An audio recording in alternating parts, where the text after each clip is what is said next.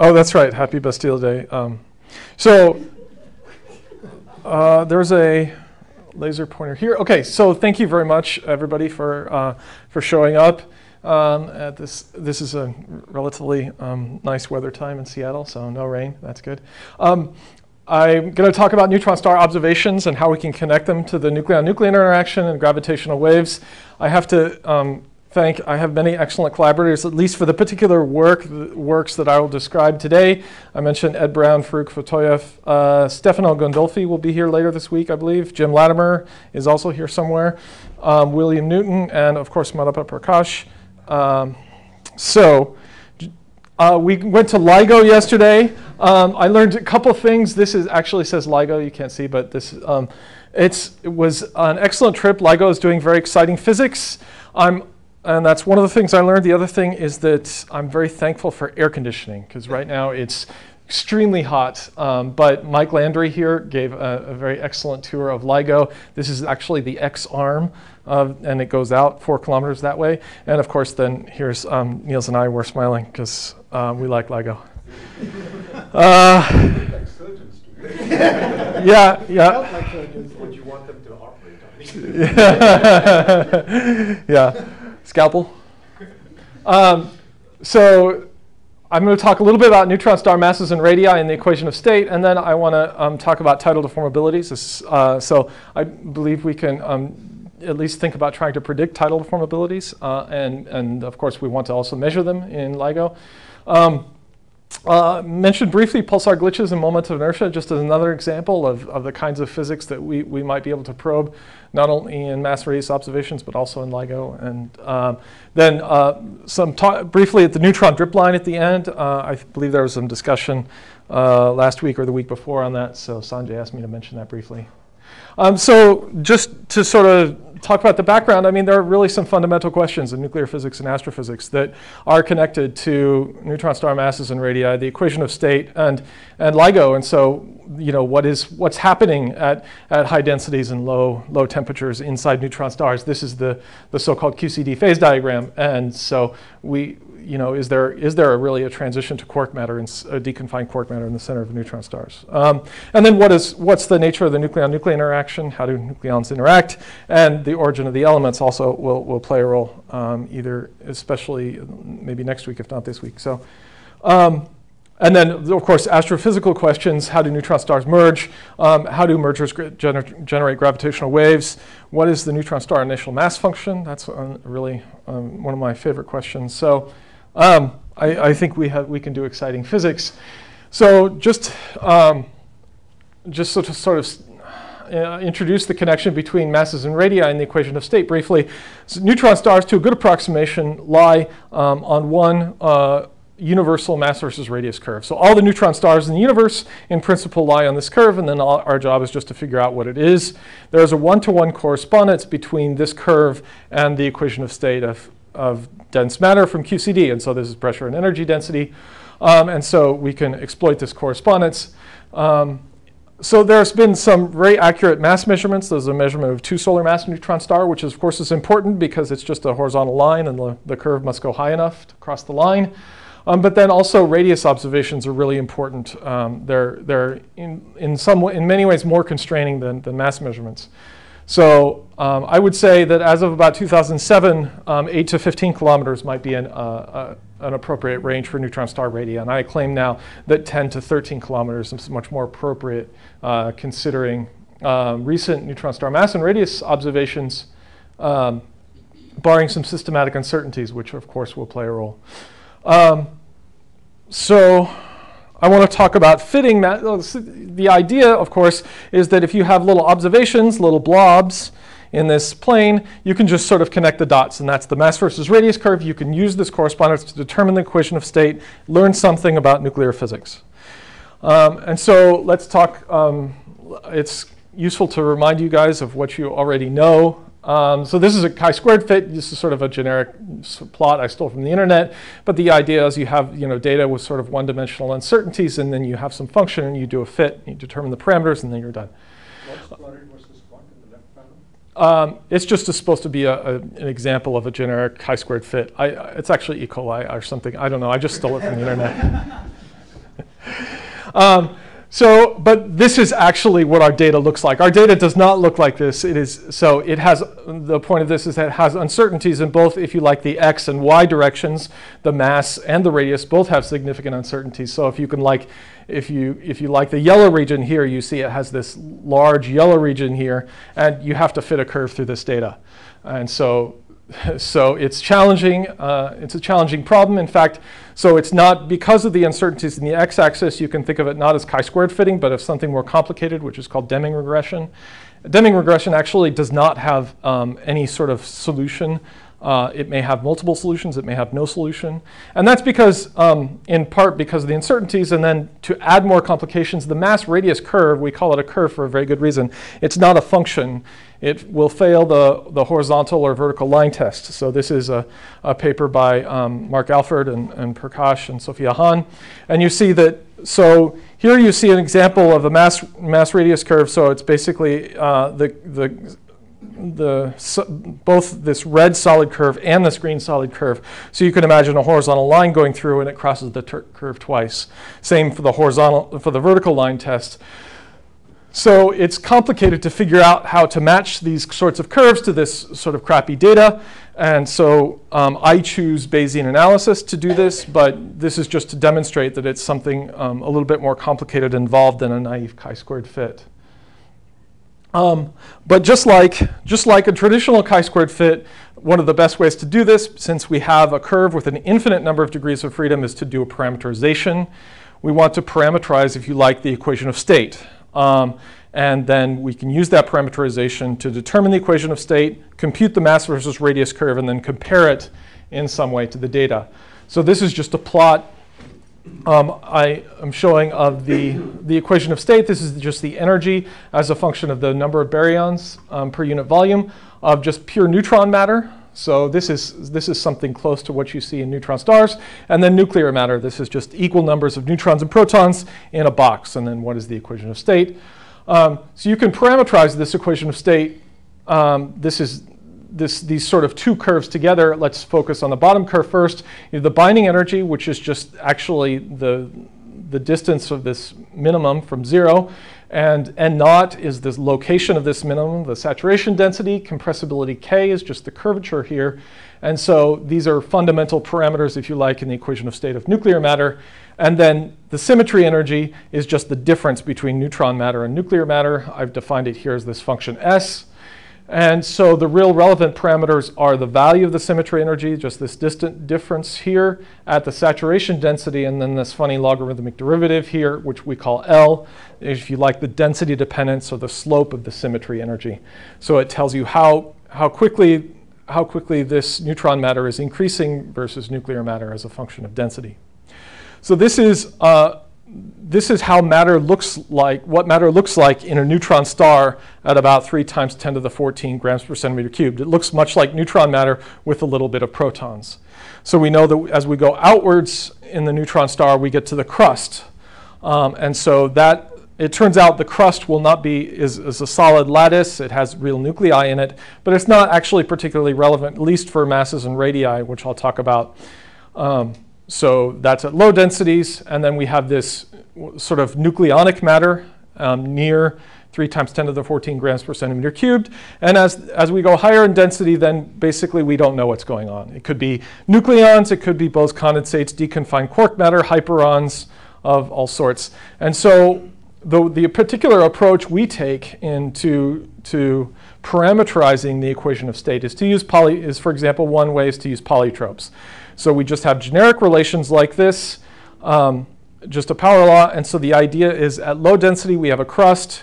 We convert at some transition density to um, nucleonic matter, um, just nuclear matter here, or, or nearly pure neutron matter at the saturation density, and then to a polytrope at some moderate densities, and then another polytrope at higher densities.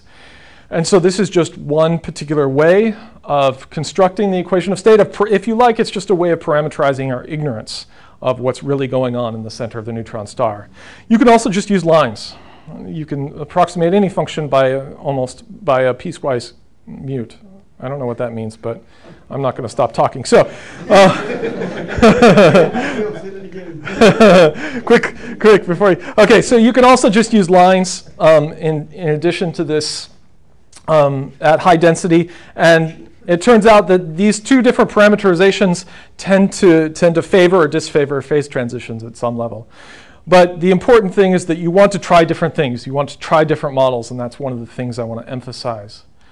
So um, this is where this is where sort of you think of the nuclear physics of happening, the physics of neutrons and protons, and the physics of the nucleon-nucleon interaction.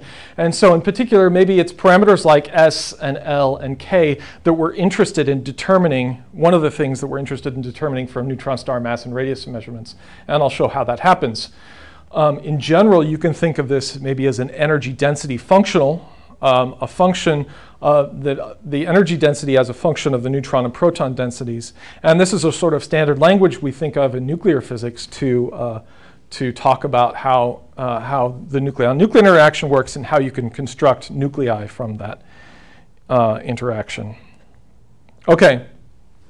Uh, just, just again, some uh, related to some of the things we talked about last week. Okay, we of course we make we made a model of the equation of state. Um, sometimes our goal is to figure out which model is preferred, um, and and I'll be able to do that with Bayes factors. And sometimes we would like to estimate parameters. So, for example, we want to know what is the value of s or l or, or k. But sometimes these parameters don't necessarily have a clear physical meaning, and so maybe parameter estimation isn't as useful. Um, of course, we always like to do make predictions. We'd like to predict what is the tidal deformability of a neutron star before they actually make the measurement in LIGO. And so either in the frequentist analysis or a Bayesian approach, you can think of a prediction as just a probability distribution.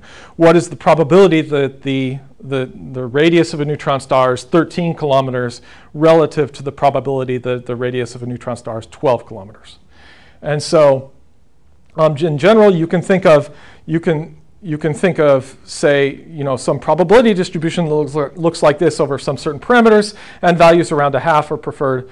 Um, and so you can, you can do this pr pr prediction. You can make a prediction over the parameter space, of course, because your model parameters have some uncertainty then your prediction also has some uncertainty. And you can, a lot of times one talks about that uncertainty due to the parameters as a statistical uncertainty. And that, this is the uncertainty that you expect to improve with more data. And then you can talk about the, the distribution of the model space. That is, I have different, I have these different models um, of, of high density matter Okay, and so these, these models also imply some uncertainty, uh, and that uncertainty is, you can think of that as the systematic uncertainty. And so, so you can also think of doing this sort of probability distribution over the model space in addition on top of the parameter space. And so this is a, a, figure I stole from our 2005 paper, and this is this is several models which predict two quantities. First, they predict the the the, essentially the pressure of neutron star matter just below the saturation density, and then the neutron skin thickness of lead, which I won't talk about, but too much, but you can imagine all of these models, if you like, they provide some sort of probability distribution for the, for the pressure of neutron, uh, neutron star matter. But you see there are, there are two different models and several different parameter sets here. Um, but, it, but this, you can see that it's not clear that I've exhaustively explored the parameter space or the model space in any systematic way. What I've really done here is more like this. I've sampled the probability distribution at some particular points, not, very, not necessarily well organized over this range. So it's not at all clear that I'm really making an accurate prediction or a precise prediction. In, and so this is, this is the kind of plot which um, sometimes we're required to do it this way just because things are computationally difficult you cannot do a neutron star merger simulation for a million different equations of state um, yet. Uh, but at the same time, this is something you should think of as possibly dangerous. So um, now I want to get to the real, uh, to the observations just briefly. Um, I'm going to talk about uh, radius measurements in quiescent low mass X-ray binaries. Basically, you can just think of this as a hot neutron star. You look at it, and what do you? The, the satellite, uh, it gets X-ray photons. You know how many photons enter your detector as a your satellite as a function of time. That's the flux. You also know something about the color, the spectrum of photons. You have some energy information, so that tells you the temperature. If you also happen to know the distance to that neutron star, then you have the distance, and you can get R infinity. This is a, just a GR correction to the radius. So effectively, if you measure these three things, you have a radius measurement. And again, this is what the data looks like. And you see, if you put it all together, basically the, the darkest region, I've just sort of added up the colors naively, but, the, but mostly they suggest 11 kilometer radius, which is basically the answer we'll, we'll get in the end. Little white inverted triangles within the color. The, that's actually the peak of the probability distribution for each of the neutrons, each of the five neutron stars here. Um, so it's not at all clear that they lie in any sort of mass versus radius curve, which is uh, an interesting point in and of itself. Uh, Also, Maybe some observers can help us here. We're talking about, you know, well, let me rephrase it. How much of this this is due to, you know, instrumental errors and how much of it is due to assumed parameterization in analysis? Uh, Am I making sense in my question? Yeah. So, I assume, Cole, you're gonna talk about this in more detail tomorrow? Yes, Is sir. Okay. And you'll, when you'll probably talk about it also. Okay. Can, can I have a teaser of an answer right now? Yes. A little more details would be helpful. I'm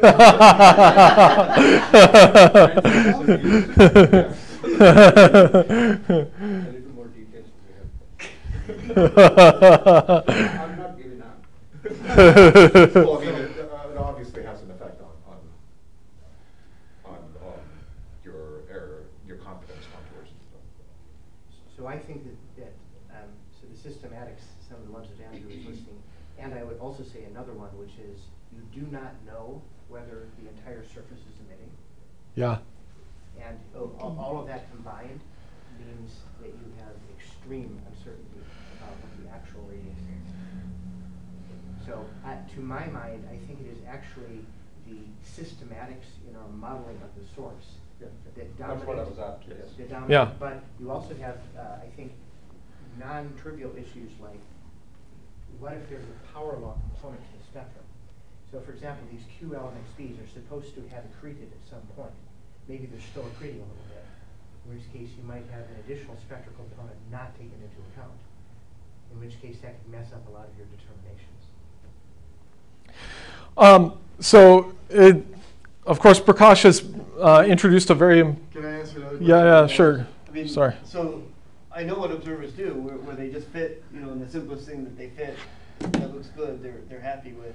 Yes. Um, I- I assume, but they often try different things where they include a power law component to see how much it changes the results. Have they done it, and does it? Power laws ha- Yeah, power laws have been included. They don't make a whole lot of difference, but that's they only add one power law at a Yeah, time. At the high energy end. Yeah. That's, yeah. If there's, I don't know if there's like an embedded power law in the low energy. I don't know. You could imagine situations where.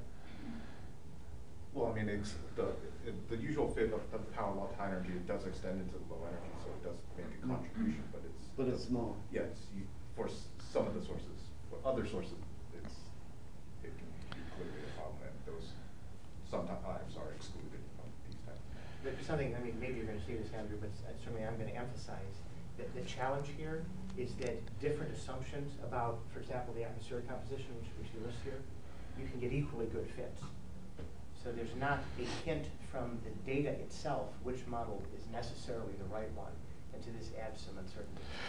Um, so yeah, and in in fact, I'm going to talk a little bit more about this later in terms of X-ray absorption uh, uncertainties in particular, which May which played a role. Yes, please.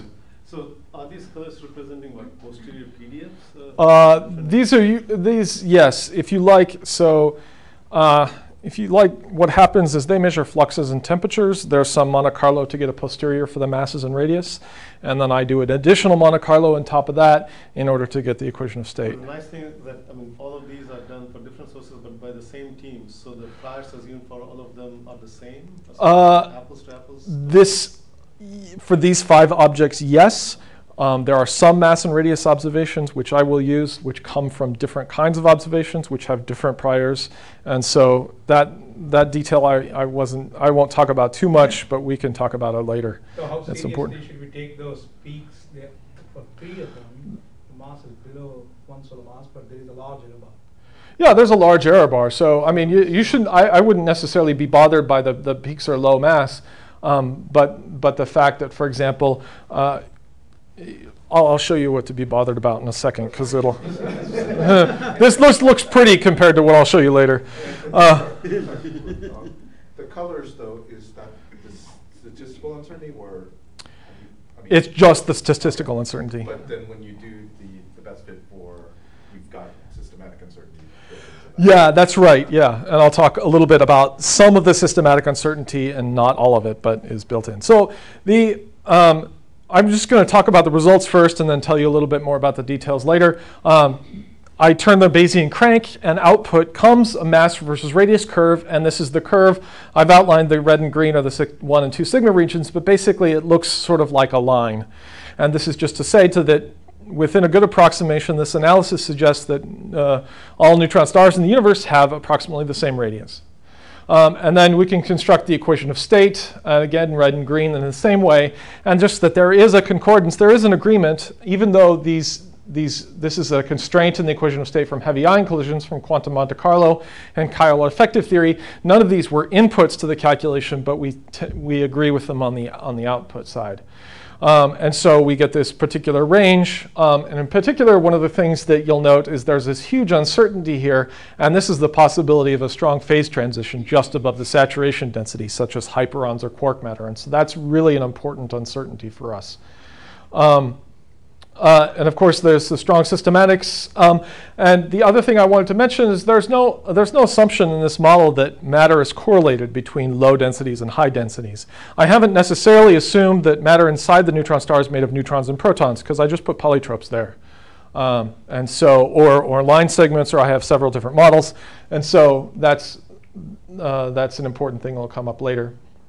So now I'm going to talk about, of course, the, the, the parameter space and the model space. So what I do for any particular model is I run through my Markov Monte Carlo, which maybe means hundreds of thousands of particular parameterizations. So I'm really trying to systematically explore the parameter space.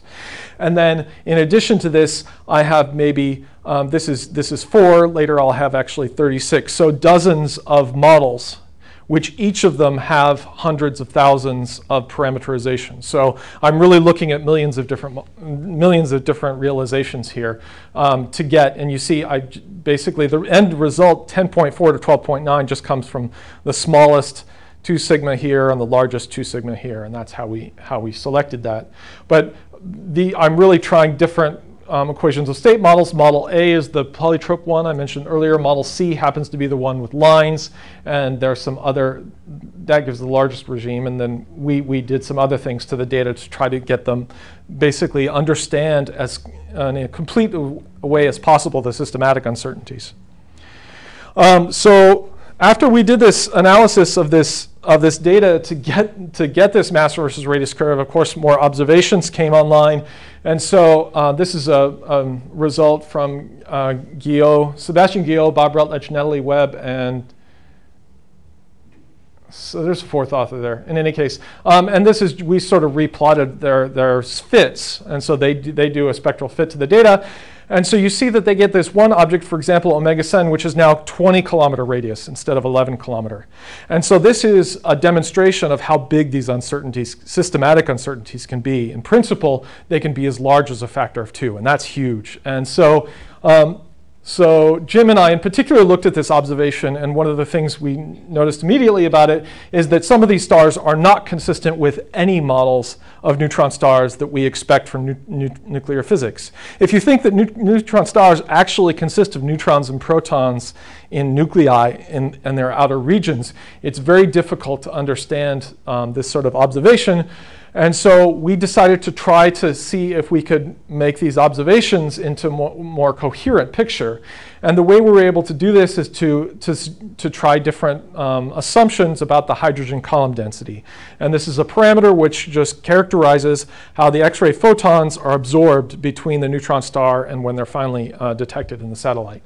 Um, and so, in particular, we suggested for this omega Cen that the hydrogen column density is smaller um, and uh, then there's also this this neutron star, which is a very, which has a very small um, radius, and actually we also added the, the possibility for, for hydrogen or helium atmospheres, and that's that's how we got this this sort of new updated data with different hydrogen column densities, and so now it looks like there's a mass versus radius curve which can go through this. Yes, Prakash. After reading your paper with Jim, uh, Guido, I don't know how to pronounce that. Gio. Gio? Gio. Matthew's, Uh, Have they reacted to it at all, Uh, either to you or in print? No, no, not directly to me, but uh, I think, but Wynn will talk more about, and, and I'll talk about Wynn's paper with Craig Heinke, and and it's my next slide. And they really, I think they really do the the right thing, and they they put the,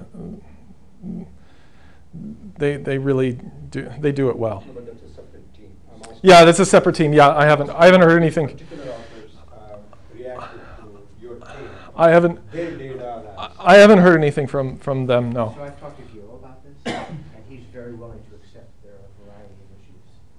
So from, from his standpoint and from Rutledge's, they more or less uh, took a shot at what they could do with their data and trying to lay out their assumptions. And they understand that some of those assumptions may not be right. So they're not seriously wedded to the statements in their paper. I, I don't know necessarily about that. Gio is not. Uh, he- I mean, he, he's, he's the graduate student of the study. So he's not Harvard necessarily. I can't speak necessarily for the others. Um, So let me let me talk a little bit more about this because I think this will help. So basically, Craig Heinke and Wynn Ho, and uh, they they a- they reanalyzed in particular omega Cen, which went to 20 kilometers, and one of the, there are two. Th- basically, what happened to this, their analysis is that the radius for this particular object, which I plotted here, comes back down to sort of uh, what we expect from nuclear physics. So the question is, what happened? One is indeed they found smaller um, hydrogen column density values, um, but and so our prediction that the hydrogen column densities is, was smaller is correct, but our method of, of, of obtaining the hydrogen column density was not that great. Okay, and it turns out what Guillot et al. were doing to determine the hydrogen column density, actually doing the spectral fit to the atmosphere, is really the right way. It's just that they they didn't have this new data, and also they um, didn't have maybe uh, the the best model of the of the interstellar medium. So in order to understand how these X-ray photons go, you have to guess at what whether it's hydrogen or helium or iron, you know, in between. And so those are the two big effects.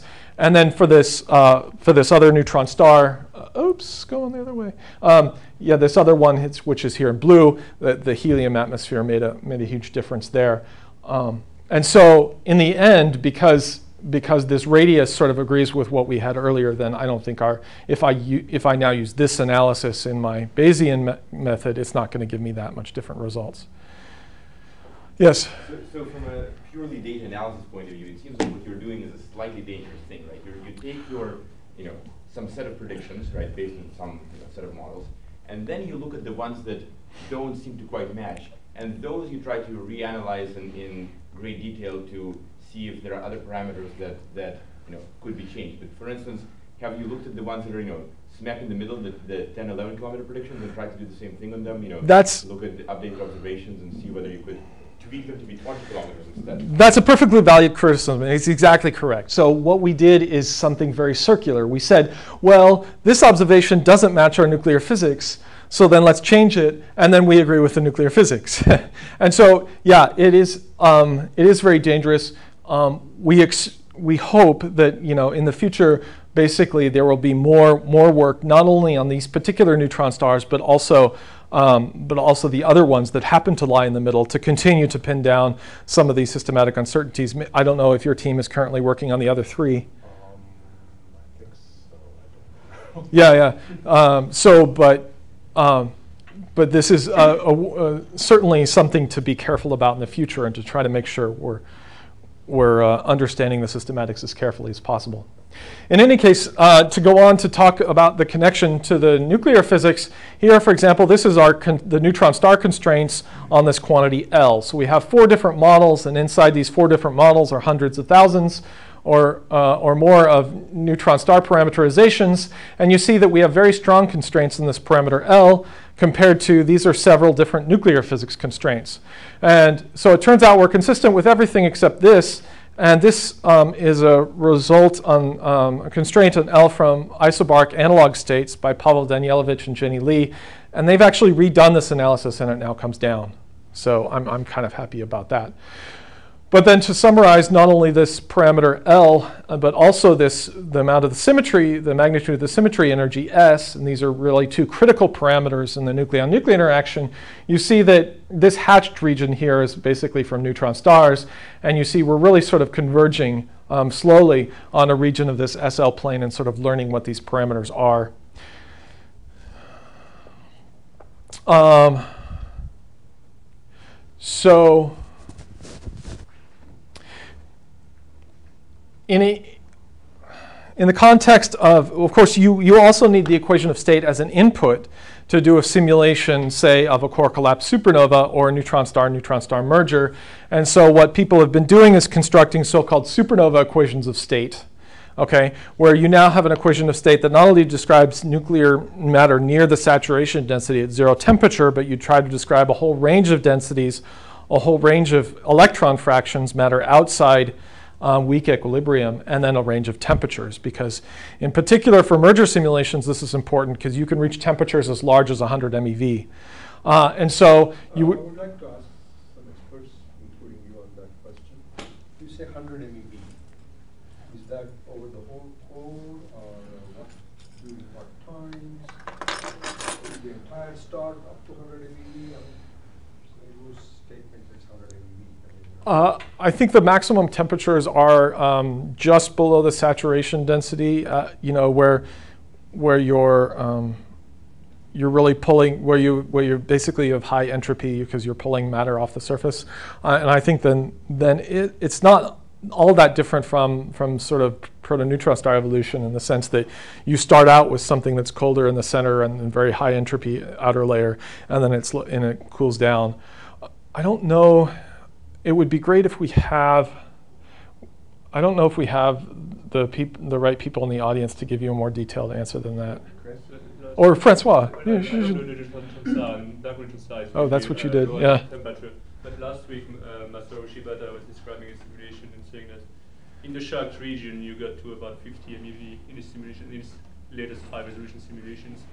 Uh, okay. Okay, so the, the shocked region is, I have, I have the merger happen, there's, say it's a was he using the same mass neutron star, or were they different? Uh, it was very equal. Oh yeah. Chris should know better than me. What the hell? And, and roughly, what are the when the temperature is about 100 MeV? What are the let's say the proton fractions? Uh, I don't know. In our, our uh, simulations, the highest temperature is right when they come together, the two cores, and it goes up to about 50 MeV or so and it's fairly localized and small, and then it drops fairly rapidly. Yeah, time, I don't yeah, remember. The, yeah, the time, uh, uh, time duration when the temperature is very large. most probably a couple, of one millisecond or something. I don't remember for sure. I haven't looked at very high resolution movies of it, but um, that's where the highest temperature occurs. Right, right when the two cores like collide. Yes, another detailed question about, because I'm constructing equations instead, I would like to know. Uh, does the does the collision take place isentropically? Do you know, or uh, I'd have I haven't. I'd have to look and see. I don't remember. You don't have entropy profiles as a function of time. No, I've looked at. Well, let me see. I'll, I'll look and see. I have temperature, but I don't know about entropy. Okay. So yeah, clearly I was wrong. There's lots of people in the audience. Sorry, I don't know what I was thinking. Uh, um, okay, but um, so one of the things you would, you would like to do, for example, is you would like to have an equation of state that you can use for these simulations that is in some sense um, has information from current neutron star mass and radius observations. And so these green and red regions, again, are um, results we got from neutron star radius constraints. And so um, you can ask whether or not, and there are some equations of state. This is the, the, the H. Shen et al. equation of state here on the outside, which are clearly quite far from what, we, what you might expect from neutron star radius constraints given um, you know, modulo systematic uncertainties. Um, and then this is also, this is this SL plot. This is just a relabeling of S. And so this green region here is this constraint from nuclear masses. And so it turns out there are only, there are only some models which actually are inside this green region and not others. And so where I think a lot of the community is focused on, um, others generating new, new equations of state which respect these nuclear physics constraints and also the, the mass and radius observations. You know, and uh, obviously, um, this is only you know a handful of models. We we cannot do this for you know millions of equations of state, but I, but we'll have to figure out creative ways of maybe exploring the parameter and model space most efficiently. Um, so since we have information on neutron star structure, we can try to predict the things that LIGO would in principle measure. Um, and so I want to talk about tidal deformabilities. This is from Ben Lackey, who gave a talk two weeks ago. And so the idea is simply that neutron star, um, when they merge, for a long time they operate essentially as point masses. And then this, this point mass approximation doesn't, uh, doesn't fail until you get to, until the neutron stars are relatively close. And this is the gravitational wave signal as the neutron stars are approaching and then merger is somewhere over here. And so the, the actual structure of the neutron star appears in a lag of the, the phase of the gravitational wave signal. Um, and one way of parameterizing that lag is through this, the so-called tidal deformability. That is the, what is the, the, the deformation, the tidal deformation of a neutron star as a result of this presence of this other neutron star. And so it's often called lambda here. And so it actually turns out that it's, it's monotonically related to radius in most cases, so that a larger radius means larger tidal deformability. A larger neutron star is easier to squish around, and so it's e also easier to detect in LIGO. Um, and so this is a manifestation of that exact concept, um, a calculation by Tanya Hinderer. And so you see the advanced LIGO region here, and so that it's, it's um, it's you can in advanced LIGO, this prediction suggested you could detect tidal deformabilities above this line. So if you go below this line, then the tidal deformation is smaller. It's harder to, to detect. Um, and so. Um, That, that's the same thing as the love number, right? yeah, yeah, that's exactly the love number. Thank you. And how far away were the, what kind of signal was she assuming? Um, I uh, I can't quite remember uh, exactly what the um, what what the details of this. Because what it is saying is advanced LIGO can see up to a certain point. Yeah. And then telescope. Yeah, but there's some assumption that, that this is there has to be an assumption here that this merger happened at some distance, you know, at 20 megaparsecs or whatever. And Uh, then we're talking about 100 megaparsec. Yeah. And, and exactly based on. And only the, exp- only the, Yeah. the early inspiral. That's- When, you add, when you add the close to merger. Right. Yeah. So, and in fact, actually, there are there are several works here which have updated this 2010 work, which I will talk about here. And so, uh, I just want to point out that here in the solid and and dotted lines are sort of the predictions that, if from you if you like, from the neutron star mass and radius observations of the tidal deformability and its probability distribution. So here I have four particular models which I used for this calculation, and, and again, there are, there are hundreds of thousands of neutron star realizations here. And you see that there is indeed some systematic uncertainty here, but no matter what model you choose, basically it's just that it's it typically between about um, a little less than one and three times 10 to the, this is the tidal deformability lambda again. Um, this is the neutron star moment of inertia um, for, and these are both for a 1.4 solar mass neutron star. So, um, and this is just to update our discussion. There are several different recent works which talk more carefully about LIGO sensitivity. So, example, multiple measurements, not just one measurement, but several neutron star mergers can help you. And then Ben Lackey, of course, a couple weeks ago, talked about directly parameterizing the equation of state and how that might additionally help you uh, detect tidal deformabilities. And so, and then what you mentioned about um, detecting the source beyond this 400 hertz, um, the higher, the closer, the, the closer to merger that you have gravitational wave signal, the more information you get in principle about tidal deformability. When we wrote our paper, Ben from PSU was very, not very sanguine that love numbers could be measured. Has the situation changed? I think I, th- I think it's getting it's getting better. Um, Yeah, as a follow-up, could you go back to the last slide? yes. And the figure that, I mean, for advanced LIGO, you've got masses that are less than one for, for it to be detectable, right? That's right. But this is only No, no, no, this is- hertz. This is only for one. Right, o- and If you add in the, the revisions, the stuff that's coming from that slide, how does that? The first one, the first paper there Yeah. says that if you observe something like twenty-five events in advanced LIGO design sensitivity, you will be able to distinguish between the extreme equations of state. I think they took three different models, extreme models. Yeah. And they could, you know, distinguish. But I think the- If you go back a slide, the, the, uh, the other thing from what Hinderer said, so they use four hundred hertz as just kind of a round number mark for how high they can go and feel confident about their waveforms. What they argued though is that, if you could go back. Yeah, sorry. So, uh, in that figure, Mhm. so the uncertainty, so basically what you have on the vertical axis, Yeah. uh, scales like nu max to the minus two point two, where nu max is the highest frequency that you can trust your waveforms. So if you could actually get to fifteen hundred hertz or something with confidence, which is still way away, if you could do that, then you, might have real prospects, even with an individual strong event, hundred megaparsec space on, of having a decent constraint. If you, keep this picture for a while, you can notice, in our quick paper, we have a slightly more telling picture, but this will, this will do. For some reason that I was never able to, you know, put my hand on, the maximum for all these occurs around one-ish solar masses. Yes.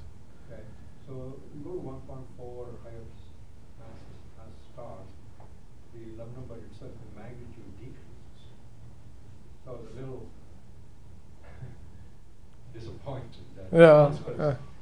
Conspiracy by nature. Yeah. So I I just, I just remember this now. Yeah. Just, uh, some little like do that. I don't. I have computed these curves, but I uh, similar curves, but I don't have a good explanation for that for that particular effect.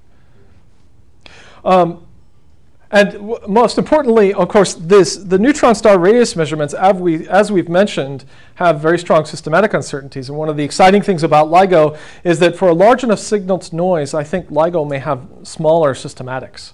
And so even if even if LIGO's un, um, their statistical uncertainty was larger than this, it, would also be it would still be a strong benefit to the community because of the potential for smaller systematic uncertainties. So so that's something to keep in mind. Remember, like R to the five, fifth power of the radius. Yeah, yeah, yeah. So you, you, you really get a benefit if you can detect it within some percentage. Um, so I want to talk briefly um, for I know there are several people here interested in the neutron star crust. Um, so this is a picture I stole from Nick Chamel. I think maybe his Living Reviews article. Uh, and so this is just a, a sort of schematic of the nuclear uh, neutron star crust. The nuclei become more and more neutron rich and closer together, and this is the so-called nuclear pasta phase. And then you transition to sort of nuclear matter near this density about 3 times 10 to the 14 grams per centimeter cubed. And so uh, if you like a cross section of the crust, I like this picture because it's, it's older than I am. This is a, really two to force calculation of tin 1800. Uh, and then Wigner-Seitz cells inside the neutron star crust. And so these, there's presumably 50 protons here, and then and many, many neutrons. You have to imagine this is a big three-dimensional volume. And so these are very exotic and exciting nuclei, which will they'll never measure this in the lab, at least not, not anytime soon. Yeah, yeah, yeah, yeah. So, so why this is relevant is because we we'd like to make connections between you know between all sorts of different kinds of observations, um, and um, so we'd like to know, for example, about pulsar glitches. There's a lot of observational data. We'd like to be able to use that data. So what does this data say? The data says that neutron stars spin down. Um, their their uh, rotation rate decreases with time, and every once in a while there's a glitch. It spins up very quickly, and then the rotational equilibrium is restored. So the basic idea of what's happening in this glitch is that most of the star is is rotating as a solid body, there, but there's a region of the star which is uh, weakly coupled, and it's you can think of this as a superfluid region. And so it's weakly coupled to the ro- rotation, and for some one reason or the other, um, the superfluid catches up with the rest of the neutron star, and then finally, and, and then finally it recovers. and so why does the superfluid catch up? Well, the idea is that you, if you have superfluid vortices that are pinned to the lattice, that um, as the neutron star spins down, these vortices are pulled outwards, but they're pinned to the lattice sites, so, so they really can't move. They, they sort of bow out, and then eventually they sort of skip and they jump lattice sites. And so this is one, uh, one sort of loose description of a, of a model for, for those pulsar glitches. Um, in order for this to work, you must have enough superfluid matter, enough superfluid neutrons, and it's natural to identify these with these, um, these, these neutrons here, which are not locked inside nuclei, which are sort of quasi-free. So are there enough neutrons outside here to really explain pulsar glitches? And one of the problems is this idea of entrainment, again, um, computed by Nicolas Chamel. The idea is that um, as these nuclei, which are fixed in the lattice, are moving around the neutron star, these, um, because there's, there's a strong force between these neutrons here and these nucleons in here, these neutrons are sort of dragged along with the rotation of the neutrino star. And this dragging is referred to as entrainment.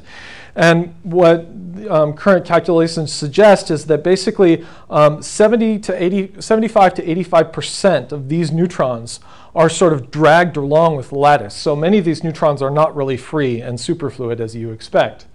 And so then the question is, is how much do we have enough superfluidity? Um, and so we require at least 1.6% of the total moment of inertia of the star to lie within these superfluid neutrons. And so you can compute the moment of inertia directly then either from the, the tidal deformability or from assuming some mass and radius observations. And you can ask what is the fraction of moment of inertia that's, that's inside these superfluid neutrons. And here's the fraction. And this doesn't include entrainment. So basically, whatever entrainment you see, you have to divide at least by a factor of 4. And so you see, maybe we can get as much as, maybe if you're very, very finely tuned, maybe a, a, as much as 0.5, uh, 5% of the fraction of the moment of inertia in the crust. But then you have to divide that by 4. And that's already smaller than this 1.6%. And so this is just to point out that current mass and radius observations say that this sort of naive picture of, of the, the, the superfluid neutrons in the crust are the responsible for pulsar glitches is there's something wrong with this picture. Um, and so either it's systematic uncertainties in the mass and radius observations, or there's more superfluid um, somewhere in the core, or there's several other solutions. Um, Nils Andersson and, and Wynn Ho is also part of this work, so they have also a set of possible solutions in their paper. So. Uh, um, so actually this, so if you have these models, these dashed lines here um, are they're they're totally fine. And so this is these are things like uh, these are things like 13, 14 kilometer radii.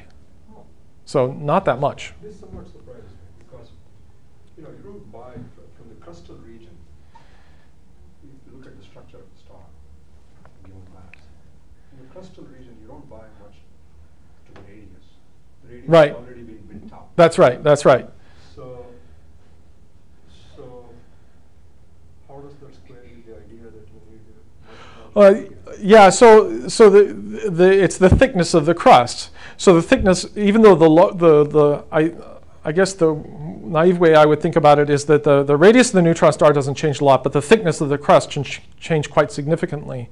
So even for a fixed radius, your crust thickness can change by 40%, depending on what your nuclear physics model is. And that's for a fixed, so that's for a fixed mass and radius. You can sort of change the size of the crust. But how much does the physics has to be changed? Yeah, yeah, so that's by changing the symmetry energy. That's how you get away with that. That's a very low densities. This, well, this, the symmetry energy is relevant for the entire inner crust, but which is most of the. Talking low densities. Yeah, yeah, We'll talk later. yeah, okay.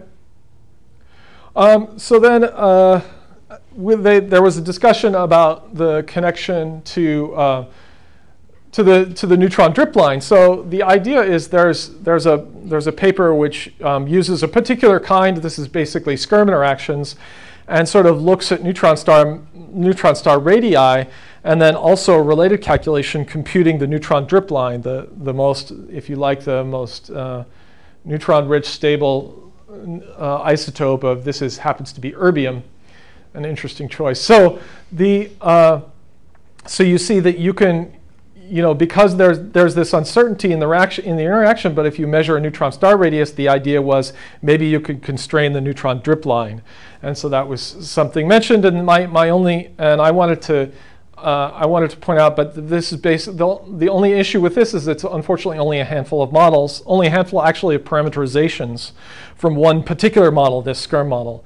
And so, and they've, in order to do, to make this association, they have to assume that matter in the center of the neutron star happens to consist exactly of neutrons and protons, which are described by the same Skyrme interaction they used near the saturation density. And so I think this connection has not been fully explored, but it's certainly an interesting thing to try to do because these, of course, these very, very neutron-rich nuclei are exactly the nuclei which might be created in the R process. And so it's worth trying to connect. Of course, if um, neutron star mergers are indeed the side of the R process, it's natural to want to do this kind of physics. And so I think it's worth looking into this. We want to put as much of this nuclear physics in all of our models so we can understand how these observations might, might tell us more nuclear physics. Andrew, please, again, Yeah. tell me what the problem is. What is the problem? Uh, Is there a, is there a difficulty or a? so the, the claim, the, the question was, I don't know, is a problem, is a question. The question is, is could you use neutron star radius measurements to constrain the drip line? Oh, okay, so it's a question. at the moment. Yeah. I think the claim that Sanjay made, which I think is not brought out by the papers, at least not as I could find it when you were driving to LIGO. Oh, okay. So sitting in that back of the wobbly one and Well, tried to make. My, my sympathies. The claim that Sanjay made was that if you had a radius measurement better than say half a kilometer, then you would be doing better at constraining the drip line, etc., than you would with the upcoming um, nuclear physics experiments. That was his claim. And then he's, he's suggested these two papers. Right, right. But I couldn't find that statement in these two papers. Oh no, certainly. Yeah, these these two papers are. Yeah, don't don't. I mean, this is sort of you have to make the connection already between these two papers, and Sanjay has already done this. And, um, so one actually one of the things, if you like, neutron star radii are principally constrained in L, um, but not S, and this is really a function most tightly of the symmetry energy S. And so the only way to make that connection is through some sort of correlation. Um, anyway, Wait, wait, wait. Neutron depends on properties of neutron-rich nuclei. yes, right. and their surface properties and Yes. their shell effects and. It's a whole, Oh yes, and in fact, whole, whole new thing. I mean, uh, that's that's right. Shell effects. Uh, you'll notice that this is exactly mid-shell. And so, if they had done this out here, where the neutron drip line happens to lie at, at the magic shell, and this happens for gold because it goes to 184 instead of 160. So yeah, this is this is an important point. And some so. Um, in any case, that's that's basically all I wanted to say, uh, at least for today. The uh, I, I think current neutron star mass and radius observations, again, modulo serious systematic uncertainties that are worth talking about, suggest that neutron star radii lie between 10 and 13 kilometers, and we now are learning something about the equation of state. Some of these are, are ruled out uh, at some level. Um, we, we now know something about the, the moment of inertia of a 1.4 solar mass neutron star and also the tidal deformability. Um, and we've learned something about the nucleon-nucleon interaction. We've learned, for example, that this parameter L is constrained very tightly to be between, this is the, in parentheses, of the 2 sigma, and the others, the 1 sigma constraints. Um, and then, of course, I, I mentioned briefly this quandary um, about whether or not there's a mo- moment of inertia to explain glitches. But I, I'm really excited. Not only LIGO, but also there are other uh, neutron star measurements coming online Athena and NICER, um, Astro H, uh, maybe Loft in the future, uh, all sorts of things which, which may provide new mass and radius constraints and um, new information. So I'm um, excited for the future. Thank you.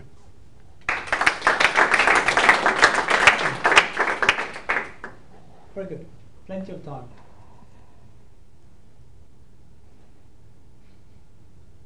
What experimental observation allows you, not inferences of mass and radii, but what experimental observation allows you to put a bound on moment of inertia? Um, there is any, so to, because, because moment of inertia is connected to radius, especially for a fixed mass, and radius is connected to L, then in principle, anything which measures L will, will tell you something about the moment of inertia. For example, um, I just, thank you for, because this is the, this is the neutrons. You can't show me graphs that I made you plot.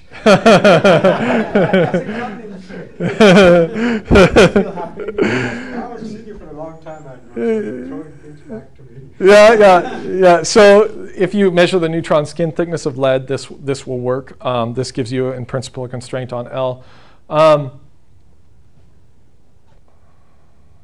that's the best way to do it that I can think of. No, I meant astrophysical. Oh, astrophysical? Oh. Um, oh, so anytime, anything like a radius measurement or, or if you, um, let's we- see. If we observe continuous waves from gravitation, gravitational wave of the waves. Oh, that might, principle, you can constrain the moment of inertia, e- el- electricity yeah, plane. yeah. I don't know how much it's going to constrain. First of all, we have to be lucky to The one that I knew was that, you know, if you have a a double pulsar system. Yeah. And then the spin orbit coupling. Yes. And they were all created by Jim and, uh, keep forgetting names, I'm getting old.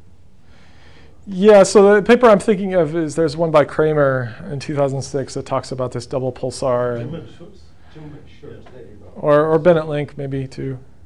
That, and Damour had some, earlier made some uh, observations about this. uh, That's, you know, in principle, Yeah, that's the best. Mhm. The rest are sort of connecting things, right? yeah, yeah, that's right. Radius, moment of inertia dimensionally has to be a r squared, blah, blah, blah. Yep. But it's not a, you know, Yeah. pristine observational, Not direct. yeah. Yeah, if you can do it directly, then that that's that would be awesome. So the other hope you would have, and, and this is pretty much pie in the sky, but if you're able to get iron K alpha lines, Oh, yeah, oh, yeah. that, then. Lines, lines, lines would be wonderful. No, no, I, I, I don't mean lines from the surface of the star. Yeah. I mean from the disk.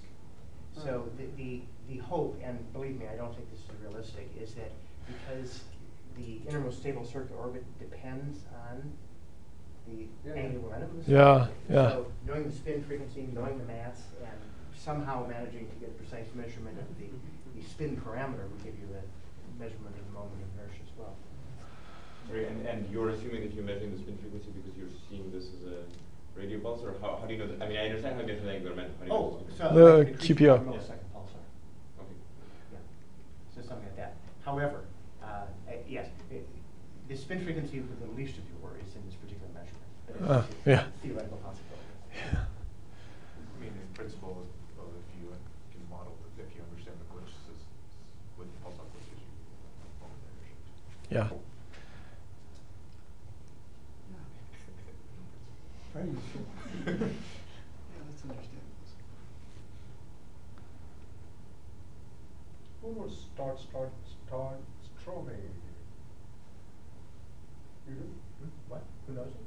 Yeah. Yes, I know.